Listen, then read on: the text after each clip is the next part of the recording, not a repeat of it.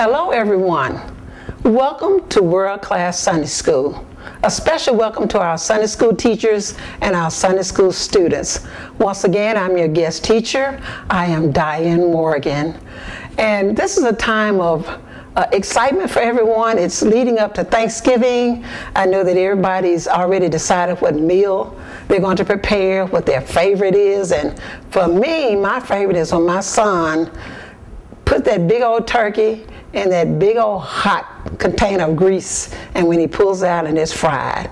Fried turkey is just the best. But whatever your favorite is make sure you remember the reason for thanksgiving. It's not ju- just about the eating but also be sure to think about those that are less fortunate that maybe you can take a meal to a homeless person uh, nearby that you may be aware of that maybe you can help a family out that you know may not have as much of a bountiful blessing of food as you have. So please remember the reason why we have Thanksgiving. And also remember to be thankful for our Savior and Lord Jesus Christ.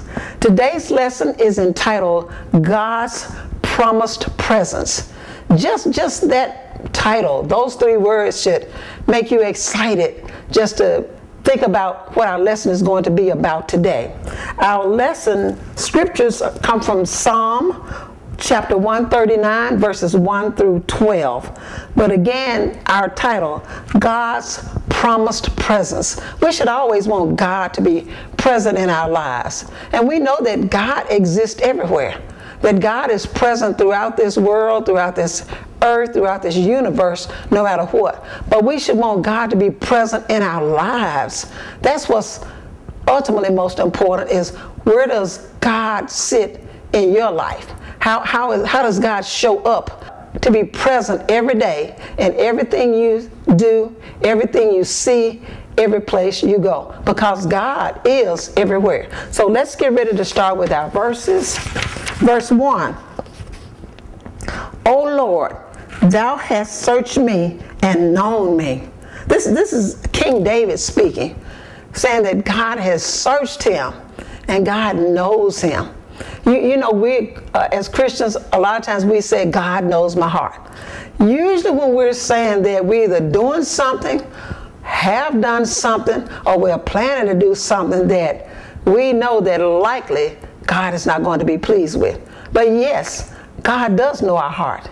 And we think about what uh, King David said in Psalm 119.11, that he wanted to make sure that God's word was hidden in his heart because he knew that the, the heart is the, the center of our existence, that what is in our heart is where God lies. So we don't want things in our heart that we don't want God to be present for. So it's important that we know that God knows us. Every fabric of our being, God is aware. We can't hide anything from God because God is all knowing. So let me read that verse again. Oh Lord, Thou hast searched me and known me. Now, do you think God really has to search you? No, he doesn't. But that's the conversation David is having right now with God and about God and to us. That God has searched us. He, he's looked at us from head to toe. He's looked at us inside and out. He knows our heart. He knows every part of our body. From the hair on our head to the sole of our feet, God knows it. But David is saying that God searched him, meaning that David himself is the one that's doing the searching. That David is looking for that authentic relationship with God. That, that at this point in David's life, he wants to be real with God. And I hope at this point in your life, you want to be real with God because God is real. And we need to make sure that we're not playing church. We're not playing Sunday school. It's time out for playing anything related to God because God is a real God and He deals with real people and real issues. So, our uh, lesson outline says God's complete knowledge often referred to as his omniscience, is the attribute that encompasses his infinite awareness and understanding of everything that has ever happened, is happening, or will happen. He is entirely aware of all things. God is entirely aware of all things. Since we know that God is entirely aware of all things, why do we do the things we do? Uh, sometimes uh, we do things that we think of as secret sins or hidden sins. If we just remember what I just read, there's nothing that's secret or hidden from God. We do well to, to, to know that. And uh, if we search ourselves, we're all guilty of secret sins and hidden sins. I know I am, just being real. And, and if we're all real, we'll know that we've done those things. But we need to repent. We need to ask God to forgive us. And as much as humanly possible, we need to try our very best not to repeat those things. And it's, it's not bound by age. We see little children doing things they should not do. And when that happens, we need to correct them because God holds us accountable for not correcting our children. When we see our fellow man doing something that is not correct, we need to correct them. Because the Bible tells us that if a brother or sister is overtaken with a fault, then we, which are spiritual, but we need to be spiritual, should go to that person and we should talk to that person. And if the person receives us, then we won that person over. So God allows us the opportunity for out for our misdeeds, but we can't keep doing them over and over and over again and think we've gotten away with it. And when we think about David, we might think, how could David have a relationship with God? How could David be seen as a man after God's own heart? Because God is a forgiving God. God understood that David was going to sin. He knew that when David didn't go out to war that day, like he should have, that he was going to look over on another balcony and see a woman bathing and like her beauty, her prettiness. But also he knew that David was going to find out about her and know that she was married and not available to him. God also knew that David was going to make the ultimate mistake, which was to have her husband killed. That wasn't what David wanted at first. He wanted Uriah to go home and lay with Bathsheba, and when that baby come for Uriah to believe was his. But Uriah being a man of honor, Uriah being a man who loved his king, the leader of his army, he didn't do that. So it forced David to make a terrible decision, which was to have Uriah killed. So I'm not going to tell you all of the story, but if you go back and read it, you'll find out what ultimate punishment fell on David. But David repented, and God forgave him. And David lived an upright life before the Lord and became perhaps the greatest king there ever was until the greatest king of ever came to this earth, that being Jesus Christ. Verse 2 Thou knowest my down sitting and my uprising. Thou understandest my thought afar off. Look at that. God understands when we when we sit down, whether that sit down is a physical sitting or whether that sit down is that something happened in our life that threw us off track, that caused us to pause, that caused us to perhaps even be distant from God. God knows it. God understands it. But not only that, God offers himself up because he's always present, remember? So that we can be turned around and put back on the right track. Not only does God know our down sitting, but he knows our uprising. So when things get better, when, when things turn around, when we're smiling again, God is smiling too. Because God is there right with us. God never, ever, ever leaves us.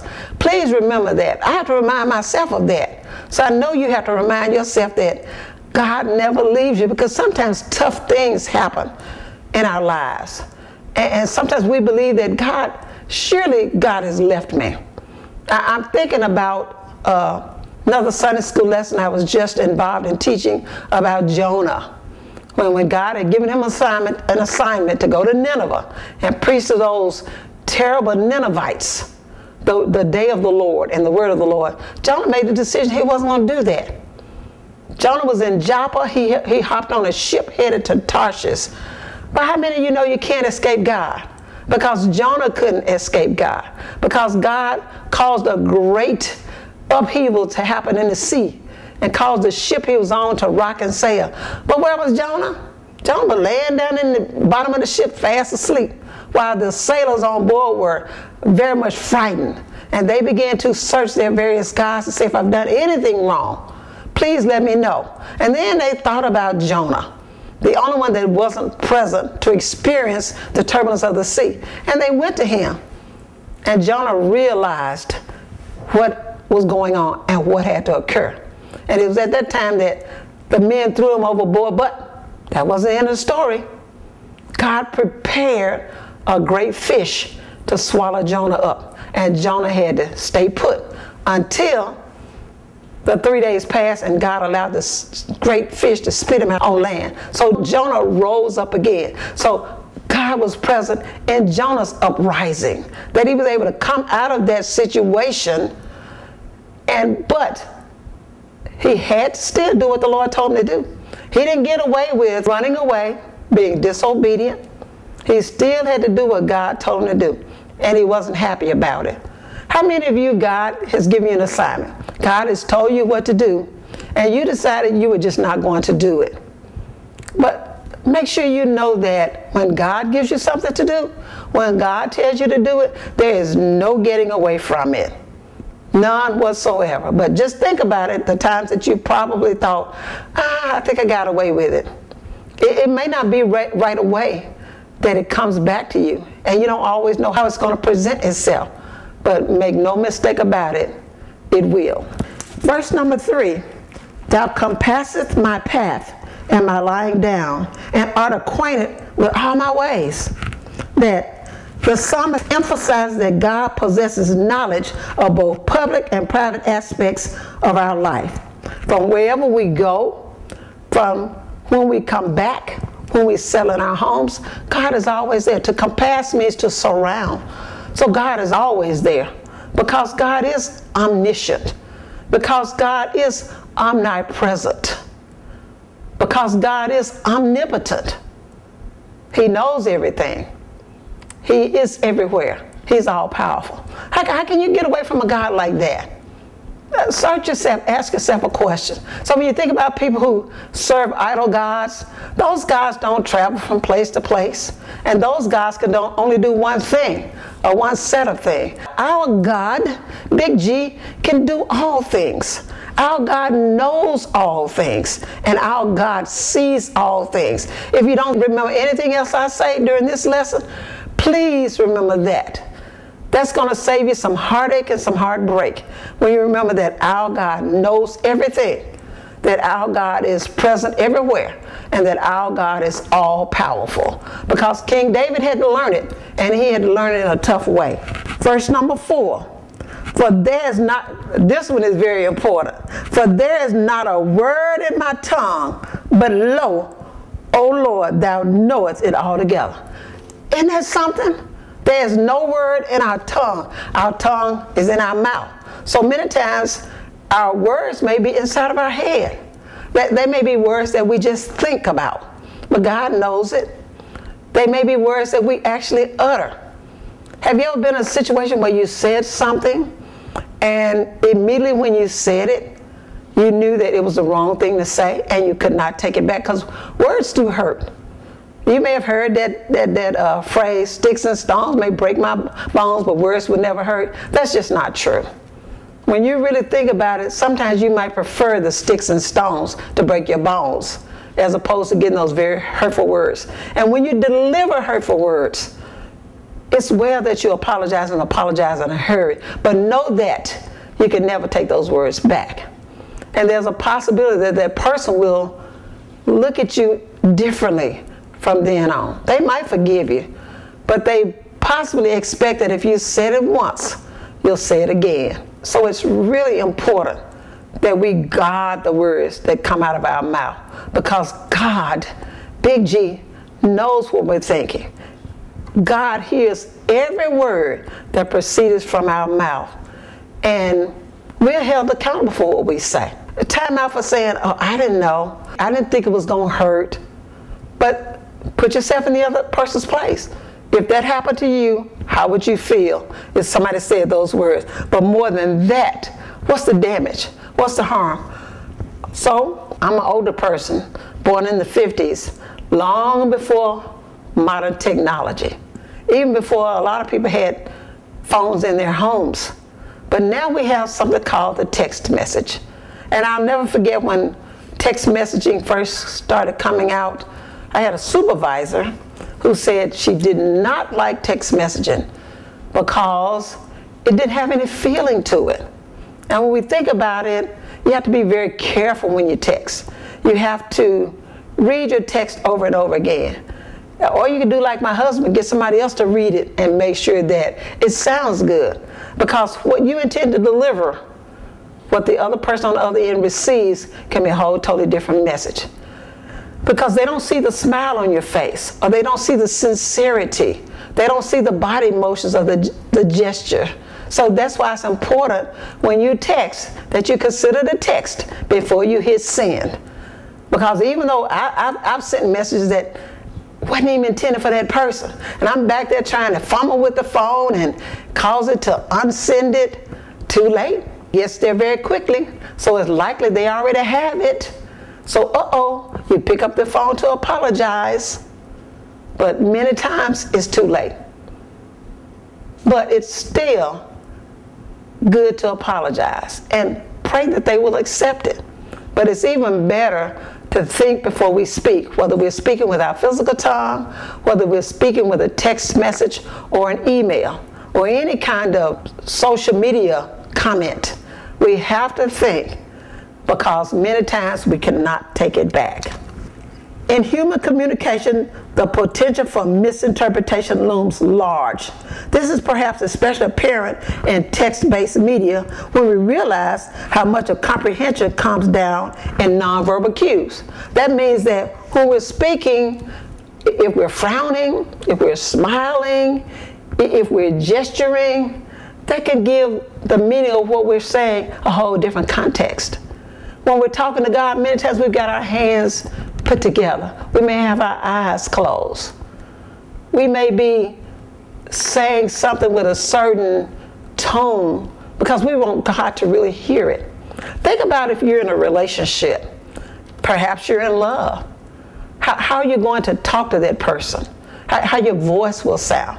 Our, our, the inflection in our voice takes on a whole different sound when we're happy as opposed to when we're sad. But when you send out a text, that does not come across. So that's why it's important that we remember when we're speaking, when we're thinking, that God hears it and God knows it. So it's important that every word we say, we realize God knows what I'm saying. And we are held accountable for what we say. And unfortunately, we cannot take it back from God because God is all knowing, all present, and all powerful. Verse 5 Thou hast beset me behind and before and laid thine hand upon me. God has, David speaking to God, has beset me behind and before. So God has been in front of David. God has been behind David. God has had his hand on David. God doesn't have a physical hand because God is not a man. But we can feel God's presence. We know when God is speaking to us. We know when we do something that pleases God because it gives us a feeling of joy. But we also know we do something that displeases God because our consciousness should be pricked and we should be godly sorry and ask God to please forgive us. We do well to get it straight with God and get it straight in a hurry because we don't want, want to be found in the presence of an angry God. That is not the place that you or me want to be. So it says, Thou hast beset me behind and before. Here, David's focus shifts from the pure fact of God's knowledge to the action he takes with his knowledge. Beset is multifaceted, indicating an act of confinement, binding, and encircling. So when God beset David, he was in front of him, on the side of him, and in the back of him. So God had David completely surrounded. That's not a bad place to be. Because that's a protective place to have God. That's a center of protection. You've got God surrounding you. it reminds you of God's protection in the reference to war, where we, we have the shield and the helmet, and we have the shoes, and we have the breastplate, that God is protecting us, and then God is at our back. So He doesn't send us out to warfare without properly equipping us. So David had full faith in God. And, and, and, here he's reaching out to God saying, God, I know you got me. And that, that's a great place to be, is for God to have you. And never forget that, that God holds you in his holy hands, in his spiritual hands. Not by being a physical presence, but by being a spiritual presence. That God binds us everywhere we are, everywhere we go, that we are bound by God. That's why we have to be careful what comes out of our mouth because we can influence other people so quickly for the good or for the bad. But we certainly can influence them. And Christians, we don't want to be found causing someone to stumble because they see us and say, well, you know, if that's the way Christians act, I don't want to be a Christian. It's, if God allows this, I want no part of God. So we have to live a life worthy before people so they'll be drawn to God just by the mere fact that they see us and they know us. And people are watching. They're watching for us to stumble, and we might. But when we do, we need to ask God's forgiveness and ask God to please pick us up and set us on that solid foundation and send us on our way. Verse 6 Such knowledge is too wonderful for me. The, the knowledge that God has David, that God looks at David's words. He said, "It's just." He said, "That's too wonderful for him." He said, "It is high." He said, "I cannot attain it unto it." Uh, David is realizing just how awesome and how mighty God is. That that he can do all those things. He can completely encircle me. He can protect me from my enemy.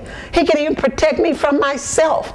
He can suffer my foot not to stumble so I won't cause somebody else to fall. Isn't that wonderful that a man that bleeds blood, that requires food and sleep, requires rest, such as David, realizes how powerful and wonderful God is. I'm going to read that again because I'm excited by that thought. Such knowledge is too wonderful for me. He already knows that he is not compared to God whatsoever. He says too high. And it, in, the, in the scripture says that God does things to confound the wise. He said he can't even attain unto it. There's no understanding of it. Our uh, study guy says this verse effectively conveys the profound distance between the positions of God and human. That's how far apart God is from us. His greatness that it's just wonderful. It's beyond belief. And David is saying, I can't even believe God would have something to do with me because he's so great and so wonderful. Verse 7 Whither shall I go from thy spirit, or whither shall I flee from thy presence? Can we go anywhere from God's spirit? Because I already told you God is what? Omnipresent. He's everywhere. I've already told you he's omnipotent. He's all powerful. He's omniscient. He's all knowing. So let me read verse 7 again. And I want you to think about it and discuss it in your class. Whither shall I go from thy spirit? God is spirit. Can we escape God's spirit if God is everywhere? No, we cannot. But there are people who think that they can, that think about Jonah again, who thought he could get away from God when God had given him assignment. Or whither shall I flee from, the, from their presence? We can't. We cannot flee from God's presence no matter how much we want to. And we do well to remember that because there are some people who think they are greater than God. And you probably have seen these people heard of these people. Even when we think of people like Adolf Hitler, it was said that he thought he was greater than any God, that, that he was the supreme ruler. But we see what happened to him, don't we? So it says David might have found God answering the king's question with some questions of his own. Can any hide himself in secret places that I shall not see him, saith the Lord? So, in all of David's awe and wonder, God speaks to him. And he tells him, You can't hide from me. The Lord says, Do not I feel heaven and earth? God said, I'm everywhere. I feel up heaven. I'm up there in the sky, in the clouds. I'm down on the earth. I'm everywhere. You can't go anywhere without me.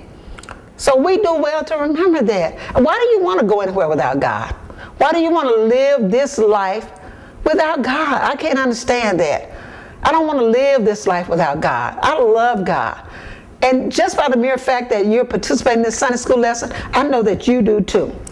The portrayal of God's omnipresence within the psalm is unique in the context of the of the time that it was written. They were not expected to be present. Uh, the, the gods of that time, the little gods, were not expected to be present other than whatever city or whatever culture was giving them respect, was giving them honor. But our God, we expect our God to be everywhere, don't we? If, if, if we fly across the sea to France or wherever, don't we expect God to be there? Yes, we do. Verse 8 If I ascend up into heaven, thou art there. If I make my bed in hell, behold, thou art there. God is in hell? Oh my goodness. We don't want to go there to find out, do we? It says the word if is found four times in the English translation of Psalms. It indicates the hypothetical nature of declarations that follow. So we don't want to go anywhere that God is not.